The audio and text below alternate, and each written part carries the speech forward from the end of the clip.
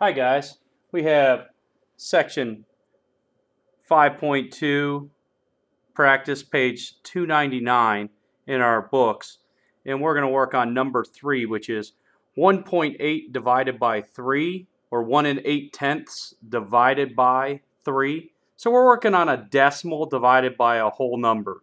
So what I have below is what you'll do in class is you have our base 10 blocks right here, and there's the little bank up here if we need it. And I'm going to work on a problem for you real quick. So we have 1.8, so I have one whole. I have one, two, three, four, five, six, seven,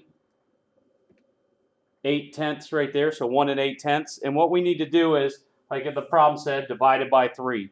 Now a good example for this is when you talk about the one for you, one for you, one for you. That's exactly what this is. So what, what you want to show is you want three groups, so you want to make three groups. So first thing I want to do is I want to try to see if I can get rid of as many of these tenths as I can. So we're going to go one, two, three, and then one, two, three. Now if you look, we have two left right here, and then I have a whole.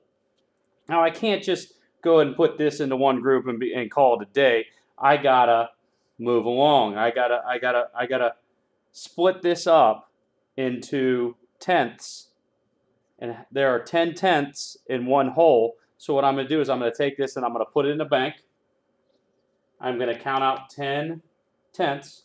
One, two, three, four, five, six, seven, eight, nine, and 10 and now we have all of these here, and we're going to keep going with our problem. So it's one there, one there, one there, one there, one there, one there, one there, one there, one there, one there, one there, and one there. And you notice I don't have any left up here, but I do have three equal piles below. And now all you have to do is grab one pile and count it, and you will have your answer.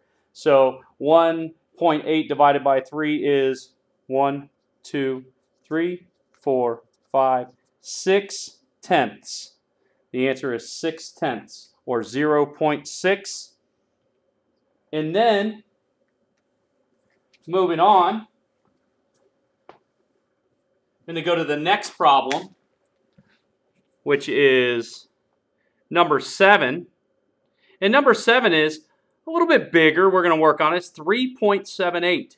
We have 3.78 divided by 3, and we're going to give this one a try. So 3 and 78 hundredths. So you notice we're going to use the little ones too in this one.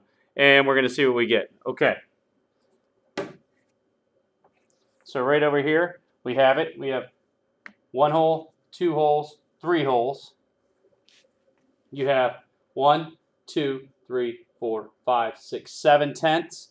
And then you have the eight hundredths, these little guys. One, two, three, four, five, six, seven, eight. Or 3.78. Now we got to put them into three different groups.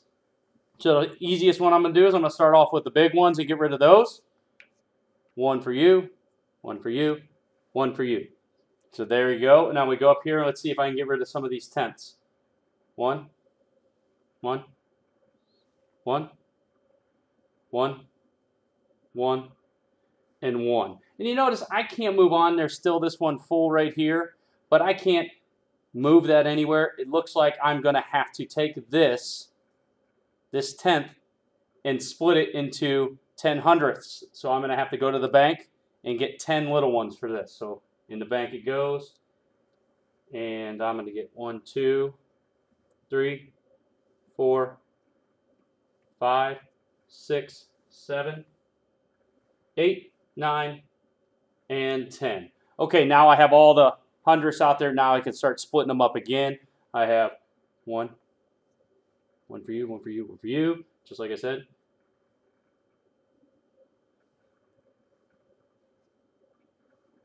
Some of you will figure out, hey, I'd like to give two out at a time if you get good. If not, it's fairly quick. Just run through them real fast. I dropped one over there. So we'll take this. Our answer right here on equal stacks is the one I dropped. So on equal stacks, 3.78 divided by 3 is altogether we have 1 and 2 tenths, 1 whole and 2 tenths, and 6 hundredths.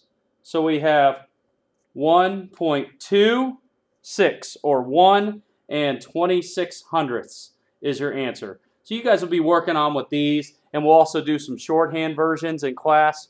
But that is the gist of it. If you have any help or need any more help, just let me know. All right, have a good one, guys. Good luck.